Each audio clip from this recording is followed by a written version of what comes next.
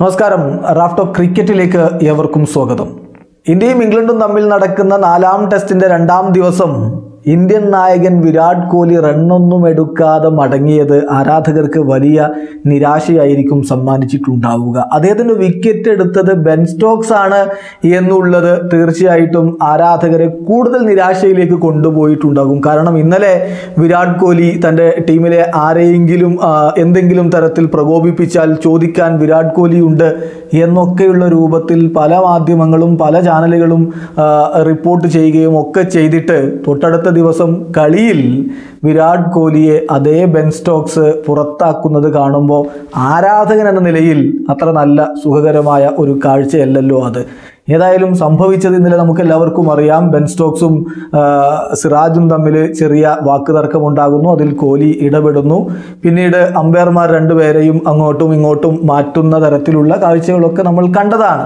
അതിനെക്കുറിച്ച് പല പ്രമുഖരും പ്രതികരിക്കുകയും ഉണ്ടായി സിറാജ് തന്നെ പറഞ്ഞത് എന്റെ നേരെ മോശം വാക്കുകൾ ഉപയോഗിച്ചുകൊണ്ട് അതായത് എന്നോട് ദേഷ്യത്തിലുള്ള വാക്കുകൾ ഉപയോഗിച്ചുകൊണ്ട് ബെൻ സ്റ്റോക്സ് ചില കാര്യങ്ങൾ പറയാൻ ശ്രമിച്ചു. ഞാനത് വിരാട് ബായിയോട് പറഞ്ഞു അദ്ദേഹം കാര്യങ്ങൾ ഡീൽ ചെയ്തു എന്നാണ്.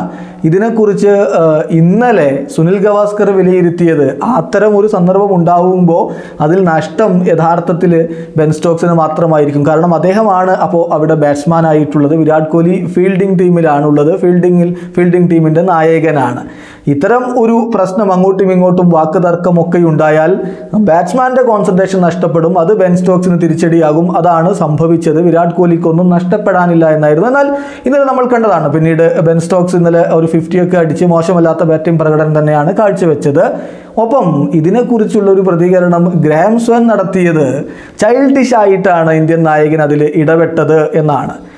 കളിക്ക് ശേഷം പക്ഷേ ബെൻ സ്റ്റോക്സ് ഇതിനെ മറ്റൊരു രൂപത്തിലാണ് കണ്ടത്. അദ്ദേഹം പറഞ്ഞത് അതിൽ ഇത്ര വലിയ പ്രാധാന്യമൊന്നും കൊടുക്കേണ്ടതില്ല. രണ്ട് പ്രൊഫഷണൽസ് കളിയെ വല്ലാതെ ഇഷ്ടപ്പെടുന്ന രണ്ട് പ്രൊഫഷണൽസ് കളിക്കളത്തിൽ വെച്ച് ചില കാര്യങ്ങൾ സംസാരിച്ചു എന്ന് മാത്രം കണ്ടാൽ മതി. മറ്റു പ്രാധാന്യമൊന്നും അതിനില്ല എന്ന് അദ്ദേഹം പറഞ്ഞിരുന്നു. ഏതായാലും ആരാധകർ ഇന്നലെ വലിയ രൂപത്തിൽ കൊണ്ടാടിയതാണ്. ഇന്ത്യൻ ടീമിലെ ആരെയെങ്കിലും എന്തെങ്കിലും തരത്തിൽ വാക്കുകൊണ്ടൊക്കെ പ്രകോപിപ്പിച്ചാൽ പോലും അതിൽ ചോദിക്കാൻ വിരാട് കോഹ്ലി ഉണ്ട് എന്നുള്ളത് ടീമിനെ മുന്നോട്ട് നയിക്കാൻ ചങ്കുറപ്പുള്ള നായകൻ കൂടെയുണ്ട് എന്നുള്ള ഒരു സന്തോഷം എന്തായാലും എല്ലാ ഇന്ത്യൻ ആരാധകർക്കും ഇന്നലെ ഉണ്ടായിട്ടുണ്ടാകും. എന്നാൽ ഇന്ന് നേരെ തിരിച്ച് ബോൾ കൊണ്ട് അതിന് മറുപടി നൽകിയ രൂപത്തിലാണ് ബെൻ സ്റ്റോക്സിന്റെ ഒരു പ്രതികരണം വന്നത്.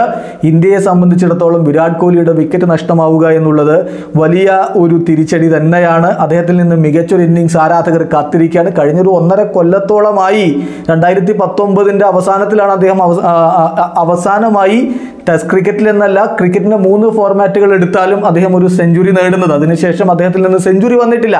ആ സെഞ്ചുറിക്ക് വേണ്ടി കാത്ത് കാത്തിരിക്കുകയാണ് ആരാധകർ. അവരെയാണ് ഒരിക്കൽ കൂടി കോഹ്ലി ഇന്ന് നിരാശരാക്കിയത് എന്ന് മാത്രമല്ല കഴിഞ്ഞ നാല് ടെസ്റ്റ് ഇന്നിങ്സുകൾ എടുത്താൽ അതിൽ രണ്ട് തവണ അദ്ദേഹം റണ്ണൊന്നും എടുക്കാതെ മടങ്ങി എന്നതിനപ്പുറം ഒരു റെക്കോർഡ് കൂടി ഇപ്പോൾ വിസ്ഡൻ പുറത്തുവിടുന്നു. നിലവിലുള്ള ഇന്ത്യൻ ടീമിൽ ഏറ്റവും കൂടുതൽ സമയം ഏറ്റവും കൂടുതൽ തവണ ഡെക്കായത് റണ്ണൊന്നും എടുക്കാതെ കളിക്കളത്തിൽ നിന്ന് കയറിപ്പോയ ഔട്ടായി പോയ ഇന്ത്യൻ ബാറ്റ്സ്മാൻ വിരാട് കോഹ്ലിയാണ് എന്നുള്ളത്. ഇപ്പോഴത്തെ ഇന്ത്യൻ ടീമിന്റെ കാര്യമാണ് പറയുന്നത്. ഇന്ത്യൻ ബാറ്റ്സ്മാൻ എന്നാണ് പറഞ്ഞത്. അതേസമയം ബൗളർമാരുടെ കണക്ക് കൂടി എടുക്കുമ്പോൾ വിരാട് കോഹ്ലി രണ്ടാമതാണ് വരുന്നത്. എന്ന് പറയുമ്പോൾ നിലവിലുള്ള ഇന്ത്യൻ സ്ക്വാഡിൽ ഏറ്റവും അധികം തവണ ഡെക്കായിട്ടുള്ള താരം ഇശാന്ത് ശർമ്മയാണ്. മുപ്പത്തിരണ്ട് തവണ. രണ്ടാമത് വിരാട് കോഹ്ലി പന്ത്രണ്ട് തവണ അദ്ദേഹം റണ്ണൊന്നും എടുക്കാതെ കളം വിട്ടിട്ടുണ്ട്. ഒപ്പം മൂന്നാമത് വരുന്നത് ജസ്പ്രീത് ബൂംറയാണ്. അദ്ദേഹം ഈ ടീമിൽ ഇല്ല. അദ്ദേഹം ലീവ് എടുത്തിരിക്കുകയാണ്. നമുക്കറിയാവുന്ന കാര്യമാണത്. അദ്ദേഹം ഒമ്പത് തവണ റണ്ണൊന്നും എടുക്കാതെ മടങ്ങിയിട്ടുണ്ട്. കോഹ്ലിയെ കുറിച്ച് വിസ്ഡൻ ആ ഒരു പോസ്റ്റിൽ പറയുന്നത് not a record the Indian captain will want to have എന്നാണ്. ഇന്ത്യൻ ക്യാപ്റ്റൻ ഒരിക്കലും ആഗ്രഹിക്കാത്ത ലഭിക്കണമെന്ന് ആഗ്രഹിക്കാത്ത ഒരു റെക്കോർഡാണ് അത് എന്ന് എന്തായാലും നമുക്കിവിടെ ഇപ്പോഴും പ്രതീക്ഷയുണ്ട്. വിരാട് കോഹ്ലി തന്റെ മികച്ച ഫോമിലേക്ക് മടങ്ങി വരുമെന്ന്. അടുത്ത ഇന്നിങ്സിലെങ്കിലും ഈ ടെസ്റ്റിലെ തന്നെ അടുത്ത ഇന്നിങ്സിലെങ്കിലും അദ്ദേഹത്തിൽ നിന്ന് മികച്ചൊരു പ്രകടനം നമ്മൾ ആഗ്രഹിക്കുകയാണ്. ഉടൻ തന്നെ അദ്ദേഹത്തിൽ നിന്ന് ഒരു സെഞ്ചുറി ലഭിക്കട്ടെ എന്ന് ആരാധകർ പ്രതീക്ഷിക്കുന്നു. പ്രത്യാശിക്കുന്നു. വിലാസാനിക്കുന്നു ക്രിക്കറ്റ് ലോകത്തെ കൂടുതൽ വിശേഷങ്ങൾ പങ്കുവച്ചുകൊണ്ട് റഫ് ടോക്സ് വീണ്ടും എത്താം.